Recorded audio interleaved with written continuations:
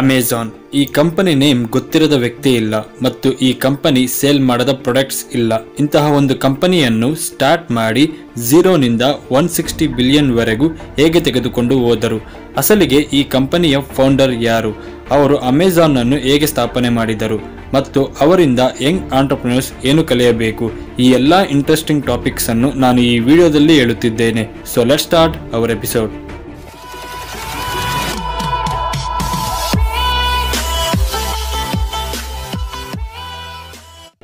Amazon ಕಂಪನಿಯನ್ನು start ಮಾಡಿದವರು Jeff Bezos. ಇವರು ಹುಟ್ಟಿದ್ದು ಜನವರಿ ಹನ್ನೆರಡು ಸಾವಿರದ ಒಂಬೈನೂರ ಅರವತ್ನಾಲ್ಕು ನ್ಯೂ ಮೆಕ್ಸಿಕೋದಲ್ಲಿ. ಜೆಫ್ ಬಿಜೋಸ್ಗೆ ಚಿಕ್ಕ ವಯಸ್ಸಿನಿಂದ ಸೈನ್ಸ್ ಮತ್ತು ಟೆಕ್ನಾಲಜಿಯ ಮೇಲೆ ಹೆಚ್ಚು ಇಂಟ್ರೆಸ್ಟ್ ಇತ್ತು. ಆತನಿಗೆ ಇದ್ದ ಇಂಟ್ರೆಸ್ಟ್ನಿಂದ ಸಮ್ಮರ್ನಲ್ಲಿ ಮಕ್ಕಳಿಗೆ ಸೈನ್ಸ್ ಕ್ಯಾಂಪ್ ಶುರು ಮಾಡಿ ಹದಿನೆಂಟು ವರ್ಷವಿದ್ದಾಗ ಮೊದಲ ಬಿಸ್ನೆಸ್ ಅನ್ನು ಸ್ಟಾರ್ಟ್ ಮಾಡಿದನು. ಮತ್ತು ಕಾಲೇಜ್ ಹಾಲಿಡೇಸ್ನಲ್ಲಿ ಮೆಕ್ಡೊನಾಲ್ಡ್ಸ್ನಲ್ಲಿ ಕಿಚನ್ನಲ್ಲಿ ಕೆಲಸ ಮಾಡುತ್ತಿದ್ದ ಸಾವಿರದ ಒಂಬೈನೂರ ಎಂಬತ್ತಾರರಲ್ಲಿ ಪ್ರಿನ್ಸ್ಟೈನ್ ಯೂನಿವರ್ಸಿಟಿಯಲ್ಲಿ ಕಂಪ್ಯೂಟರ್ ಸೈನ್ಸ್ ಮತ್ತು ಎಲೆಕ್ಟ್ರಾನಿಕ್ ಇಂಜಿನಿಯರಿಂಗ್ ಅನ್ನು ಮುಗಿಸುತ್ತಾನೆ. ಆನಂತರ ಬ್ಯಾಂಕರ್ಸ್ ಟ್ರಸ್ಟ್ ಮತ್ತು ಡಿಇ ಶಾವೋ ಅಂಡ್ ಕಂಪನಿಯಲ್ಲಿ ವೈಸ್ ಪ್ರೆಸಿಡೆಂಟ್ ಆಗಿ ಒಳ್ಳೆಯ ಕೆಲಸ ಬರುತ್ತದೆ. ಮತ್ತು ಅದೇ ಸಮಯದಲ್ಲಿ ಅದೇ ಕಂಪನಿಯಲ್ಲಿ ಕೆಲಸ ಮಾಡುತ್ತಿದ್ದ ಮೆಕ್ನೆಸೆ ಎನ್ನುವ ಹುಡುಗಿಯನ್ನು ಪ್ರೀತಿಸಿ ಮದುವೆಯಾಗುತ್ತಾನೆ. ಪ್ರೀತಿಸಿದ ಹುಡುಗಿಯ ಜೊತೆ ಮದುವೆ ಮತ್ತು ಒಳ್ಳೆಯ ಕೆಲಸ, ಸಂಬಳ. ಲೈಫ್ ಎಲ್ಲ ಹ್ಯಾಪಿಯಾಗಿ ನಡೆಯುತ್ತಿದ್ದ ಸಮಯದಲ್ಲಿ ಜಫ್ ಬಿಜೋಸ್ಗೆ ಜೀವನವೆಂದರೆ ಇದು ಅಲ್ಲ. ನನಗೆ ನಾನು ಯಾವುದಾದರೂ ಬಿಸ್ನೆಸ್ ಸ್ಟಾರ್ಟ್ ಮಾಡಬೇಕು ಎಂದು ಅನಿಸುತ್ತದೆ.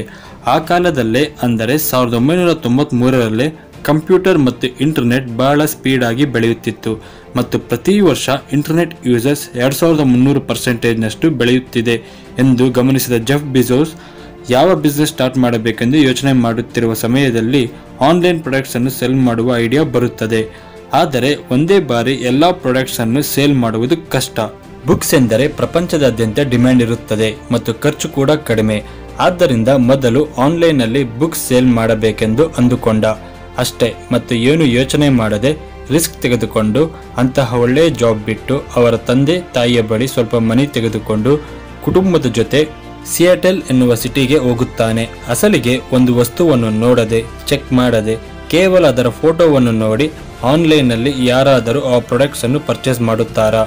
ಆದರೆ ಈ ಐಡಿಯಾವನ್ನು ಕೇಳಿದ ಕೆಲವರು, ಇದೊಂದು ಐಡಿಯಾ, ಇದಕ್ಕೋಸ್ಕರ ಜಾಬ್ ಅನ್ನು ಬಿಡಬೇಕೆ? ಎಂದು ಎಷ್ಟೋ ಜನ ನಕ್ಕಿದರು. ಬೇಡ ಎಂದು ಎಷ್ಟೋ ಜನ ಹೇಳಿದರು. ಆದರೆ ಜಫ್ ಬಿಜೋಸ್ ಅದನ್ನೆಲ್ಲ ತಲೆ ಕೆಡಿಸಿಕೊಳ್ಳಲಿಲ್ಲ ಆತನು ಅಂದುಕೊಂಡ ಹಾಗೆ ವೆಬ್ಸೈಟ್ ಅನ್ನು ಡೆವಲಪ್ ಮಾಡಲು ಸ್ಟಾರ್ಟ್ ಮಾಡುತ್ತಾನೆ. ಮತ್ತು ದಕ್ಷಿಣ ಅಮೆರಿಕದಲ್ಲೇ ಇರುವ ಹಾಗೂ ಪ್ರಪಂಚದಲ್ಲೇ ಅತಿದೊಡ್ಡ ನದಿಯಾದ ಅಮೆಜಾನ್ ನದಿಯ ಹೆಸರನ್ನು ಆತನ ಕಂಪನಿಗೆ ರಿಜಿಸ್ಟರ್ ಮಾಡಿಸುತ್ತಾನೆ ಮತ್ತು ಆತನ ಮನೆಯ ಗ್ಯಾರೇಜ್ನಲ್ಲಿ ಕಂಪನಿಯನ್ನು ಸ್ಟಾರ್ಟ್ ಮಾಡಿ ಕೆಲವು ಕಂಪ್ಯೂಟರ್ ಪ್ರೋಗ್ರಾಮರ್ಸ್ ಅನ್ನು ಕೆಲಸಕ್ಕೆ ತೆಗೆದುಕೊಂಡು ಅವರ ಕೈಯಲ್ಲಿ ವೆಬ್ಸೈಟ್ ಅನ್ನು ಡೆವಲಪ್ ಮಾಡಿಸುತ್ತಾನೆ. ಹಾಗೆ ಸಾವಿರದ ಒಂಬೈನೂರ ತೊಂಬತ್ನಾಲ್ಕರಲ್ಲಿ ಆನ್ಲೈನ್ನಲ್ಲಿ ಬುಕ್ ಸೆಲ್ ಮಾಡುವ ಕಂಪನಿ ಸ್ಟಾರ್ಟ್ ಆಗುತ್ತದೆ. ಆದರೆ ಮೊದಲ ತಿಂಗಳಿನಲ್ಲಿ ನಲವತ್ತೈದು ದೇಶಗಳಿಂದ ಆರ್ಡರ್ ಬರುತ್ತದೆ. ಬೆಳಿಗ್ಗೆ ಎಲ್ಲ ವೆಬ್ಸೈಟ್ ಅನ್ನು ಡೆವಲಪ್ ಮಾಡುವುದು, ರಾತ್ರಿಯೆಲ್ಲ ಆರ್ಡರ್ ಬಂದ ಪುಸ್ತಕಗಳನ್ನು ಪ್ಯಾಕ್ ಮಾಡುವುದು, ಬೆಳಗ್ಗಿನ ಜಾವ ಅದನ್ನು ಪೋಸ್ಟ್ ಆಫೀಸ್ಗೆ ಕೊಡುವುದು. ಹೀಗೆ ದಿನವೆಲ್ಲ ಎಷ್ಟೋ ಕಷ್ಟ ಬೀಳುತ್ತಿದ್ದ ಮತ್ತು ಕಡಿಮೆ ಖರ್ಚಿನಲ್ಲಿ ಬರುವ ವುಡ್ಡನ್ನು ತೆಗೆದುಕೊಂಡು ಅದರಲ್ಲಿ ಆಫೀಸ್ಗೆ ಡೆಸ್ಕ್ ಮತ್ತು ಟೇಬಲ್ ಅನ್ನು ತಯಾರು ಮಾಡುತ್ತಿದ್ದ. ಹಾಗೆಯೇ ಮೆಲ್ಲ ಮೆಲ್ಲಗೆ ಬುಕ್ಸ್, ಸಿಡಿ, ವಿಡಿಯೋ ಗೇಮ್ಸ್, ಬೊಂಬೆಗಳು, ಬಟ್ಟೆಗಳು ಅಮೆಜಾನ್ ವೆಬ್ಸೈಟ್ನಲ್ಲಿ ಆ್ಯಡ್ ಮಾಡುತ್ತಾ ಹೋದನು. ಆದರೆ ಯಾರೊಬ್ಬರಿಗೂ ಕೂಡ ಅಮೆಜಾನ್ ಕಂಪನಿ ಸಕ್ಸಸ್ ಆಗುತ್ತದೆ ಎಂದು ನಂಬಿಕೆ ಇರಲಿಲ್ಲ. ಒಬ್ಬ ಜಫ್ ಬಿಜೋಸ್ಗೆ ಮಾತ್ರ ಸರಿಯಾದ ಇನ್ವೆಸ್ಟ್ಮೆಂಟ್ ಇಲ್ಲದೆ ಅಮೆಜಾನ್ ಅನ್ನು ನಡೆಸಲು ಬಹಳ ಕಷ್ಟವಾಗುತ್ತಿತ್ತು. ಅದಕ್ಕೆ ಅಮೆಜಾನ್ನಿಂದ ಬಂದ ಒನ್ ರುಪಿ ಪ್ರಾಫಿಟ್ ಕೂಡ ಮರಳಿ ಅದನ್ನು ವೆಬ್ಸೈಟ್ ಡೆವಲಪ್ ಮಾಡುವುದಕ್ಕೆ ಅಥವಾ ಪ್ರಾಡಕ್ಟ್ ಡೆಲಿವರಿ ಸ್ಪೀಡ್ ಇನ್ಕ್ರೀಸ್ ಮಾಡಲು ಯೂಸ್ ಮಾಡುತ್ತಿದ್ದ. ಇನ್ವೆಸ್ಟ್ಮೆಂಟ್ಗೋಸ್ಕರ ಸಾವಿರದ ಒಂಬೈನೂರ ತೊಂಬತ್ತೇಳರಂದು ಅಮೆಜಾನ್ ಸ್ಟಾಕ್ ಮಾರ್ಕೆಟ್ನಲ್ಲಿ ಲಿಸ್ಟ್ ಆಗುತ್ತದೆ. ಕೆಲವೇ ದಿನಗಳಲ್ಲಿ ಏಯ್ಟೀನ್ ಡಾಲರ್ಸ್ ಇದ್ದ ಅಮೆಜಾನ್ ಶೇರ್ ಪ್ರೈಸ್ ಹಂಡ್ರೆಡ್ ಡಾಲರ್ಸ್ಗೆ ಸೇರಿಕೊಳ್ಳುತ್ತದೆ. ಅಮೆಜಾನ್ ಕಂಪನಿ ಸ್ಪೀಡ್ ಆಗಿ ಬೆಳೆಯುತ್ತಿದ್ದ ಸಮಯದಲ್ಲಿ ಡಾಟ್ ಕಾಮ್ ಬಬುಲ್ ಏರ್ಪಟ್ಟಿತು. ಡಾಟ್ ಕಾಮ್ ಬಬುಲ್ ಎಂದರೆ ಸಾವಿರದ ಒಂಬೈನೂರ ತೊಂಬತ್ತೈದರಿಂದ ಎರಡು ಸಾವಿರದರ ಮಧ್ಯೆ ಇಂಟರ್ನೆಟ್ ಅನ್ನು ಆಧಾರವಾಗಿ ಇಟ್ಟುಕೊಂಡು ಕೆಲವು ಹೊಸ ಕಂಪನೀಸ್ ವಿಪರೀತವಾಗಿ ಬಿಸ್ನೆಸ್ ಸ್ಟಾರ್ಟ್ ಮಾಡುತ್ತಾರೆ. ಮತ್ತು ಜನರೆಲ್ಲ ಅವರ ಇನ್ವೆಸ್ಟ್ಮೆಂಟ್ ಅನ್ನು ಆ ಕಂಪನೀಸ್ನಲ್ಲಿ ಇಡುತ್ತಾರೆ. ಆ ಸಮಯದಲ್ಲಿ ಟೆಕ್ನಾಲಜಿ ಬೂಮ್ ಏರ್ಪಟ್ಟಿತು. ಇದರಿಂದ ಈ ಎಲ್ಲ ಕಂಪನಿ ಶೇರ್ ವಿಪರೀತವಾಗಿ ಬೆಳೆದು ಹೋಯಿತು.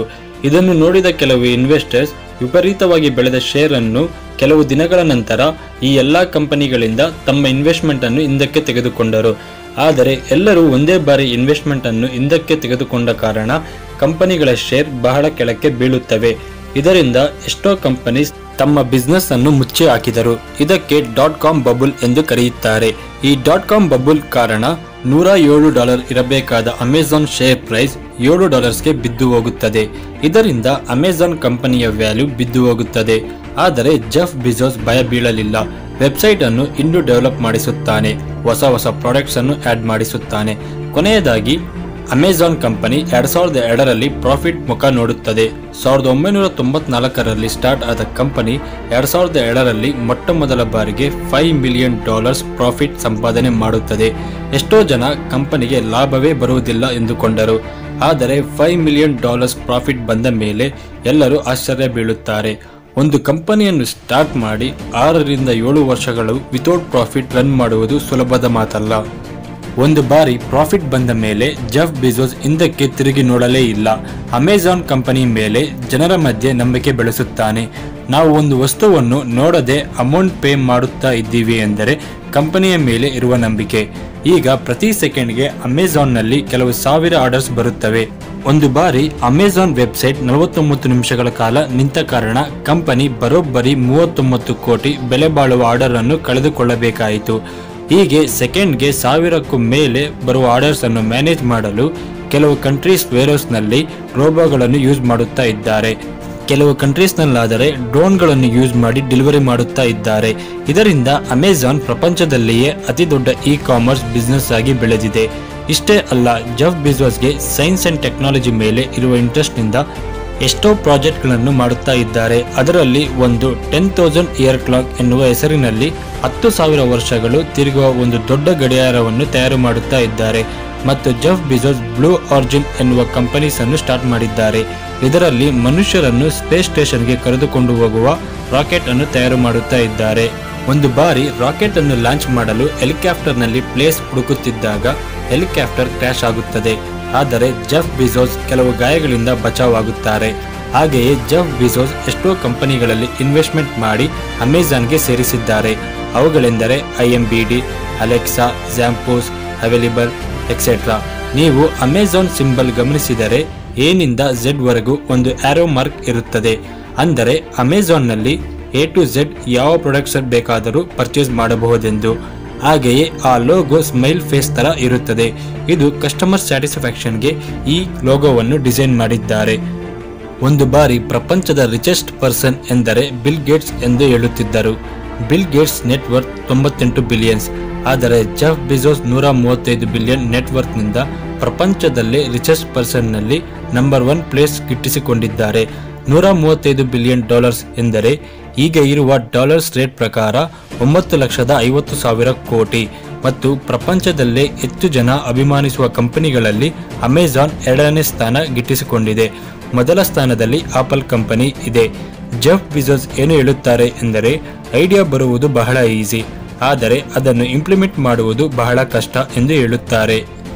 ಆತನ ಐಡಿಯಾಗೋಸ್ಕರ ಒಳ್ಳೆಯ ಕೆಲಸ ಬಿಟ್ಟು ಸ್ಟಾರ್ಟ್ ಮಾಡಿದ ಅಮೆಜಾನ್ನಲ್ಲಿ ಈಗ ಸುಮಾರಾಗಿ ಆರು ಲಕ್ಷಕ್ಕೂ ಹೆಚ್ಚು ಜನ ಕೆಲಸ ಮಾಡುತ್ತಿದ್ದಾರೆ. ಮೊದಲಿಗೆ ಒಂದು ಚಿಕ್ಕ ಗ್ಯಾರೇಜ್ನಲ್ಲಿ ಸ್ಟಾರ್ಟ್ ಮಾಡಿ ಈಗ ವಾಲ್ಮಾರ್ಟ್ ಇಬೇ ಅಂತ ಕಂಪನಿಗಳ ಕಾಂಪಿಟೇಷನ್ ಅನ್ನು ತಡೆದುಕೊಂಡು ಬೆಳೆದು ಈಗ ಅಮೆಜಾನ್ ಅನ್ನು ಈ ಪ್ರಪಂಚದ ದೊಡ್ಡ ಕಂಪನಿಯನ್ನಾಗಿ ಮಾಡಿ ಆತನು ಪ್ರಪಂಚದ number one richest person place ಸೇರಿಕೊಂಡಿದ್ದಾರೆ. Jeff ಬಿಸೋಸ್ನ ಜೀವನ ಪ್ರಪಂಚದಾದ್ಯಂತ ಎಷ್ಟೋ ಯಂಗ್ ಆಂಟರ್ಪ್ರಿನರ್ಸ್ಗೆ ಒಂದು ಇನ್ಸ್ಪಿರೇಷನ್. ನಿಮಗೆ ನಿಮ್ಮ ಮೇಲೆ ನಂಬಿಕೆ ಇದ್ದು ಏನಾದರೂ ಮಾಡಬೇಕಾದರೆ ಮಾಡಿ. ಯಾರ ಬಗ್ಗೆನೂ ತಲೆ ಕೆಡಿಸಿಕೊಳ್ಳಬೇಡಿ.